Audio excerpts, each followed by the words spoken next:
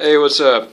So uh, I've been playing around with a inverter power supply out of a uh, Panasonic microwave. Uh, you know, a lot of you are familiar with the uh, MOTs, as some people refer to them, or microwave oven transformers. They're uh, big and clunky.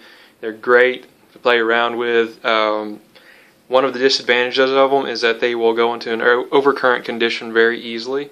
So uh, even if you don't have anything loaded on the output. So on this uh, inverter setup, it operates more efficiently. It's very light, and uh, also it won't go into an overcurrent condition so easily. So um, there was a YouTube user, uh, his name on here, uh, Paulton M. He had actually gone through and observed the uh, input conditions of these uh, enable lines here. So, or control lines. So uh, I followed his specifications and did my own little turn on it. Um, sorry for the shakiness of the video. This is recorded on a, a tablet, not a potato.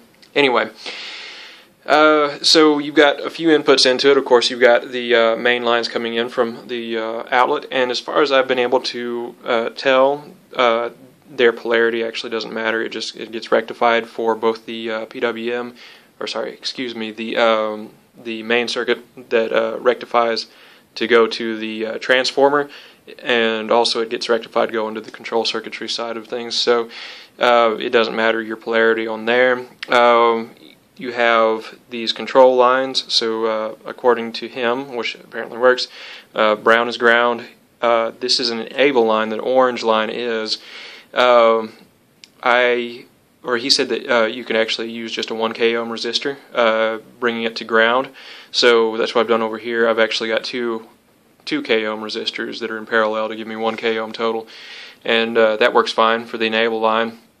Uh, it's got some kind of weird signal on it, but this works. So then on the yellow line, that's your signal line that dictates the actual power that the um, uh, transformer can output. So that's a really great feature of this is that you can actually change the current that is available based on PWM of the uh, flyback transformer that's internal to it. Uh, so um, it outputs uh, open circuit somewhere around 6 kV, uh, which is a lot of voltage. if you uh, actually tie it into something to put a load onto it, it gets more around the uh, 4 kV range. And uh, it's varying between 100 and 400 milliamps. So uh, whenever you first turn it on, it has to be at 43% uh, pulse width of the you know total uh, signal, so 43% duty cycle, uh, and then from there you can take it up uh, to a higher uh, range. So uh, what I've done is I actually wrote an Arduino sketch. The original user had built a PWM circuit based on a 555 timer, actually a 556 timer it looked like, so you could get into a stable pulse width mode. So uh, what I actually did, these little uh, Arduinos, I got them for about uh, three or four dollars each. So it was really easy because I didn't have to go and cut the board for the circuit or try to prototype it or anything of that sort. So I went that route. Um, and what I did on the sketch was I wrote it in microseconds because uh, based on milliseconds I could do it. It's just that I don't get the uh, resolution that I would like to have as far as the power and um, also I needed to calibrate it, uh, it, you know, vary it a little bit in microseconds in order to get a true 220 hertz signal off of it. So, uh, and I tested that using my uh, oscilloscope that I've got available here.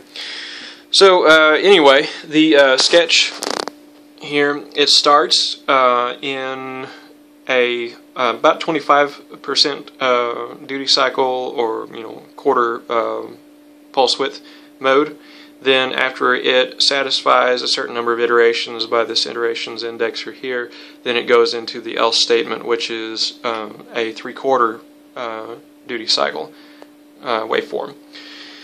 So later on what I'll do is I'll tie that into either a quadrature encoder uh, to turn up the uh, signal or I will tie that into a uh, potentiometer to change that. But I'll go ahead and fire it up here you've got your main circuit. I'm going to go ahead and plug that in. And then you have just a five dollar or five volt wall wart that uh, powers the Arduino. And once that power is on, you will see in the electroscope here the foil move just a little bit. There we go. It'll move whenever I turn it off too. So uh, it's not moving very much for 6 kV. Uh, the reason for that is that this is actually aluminum foil instead of gold foil.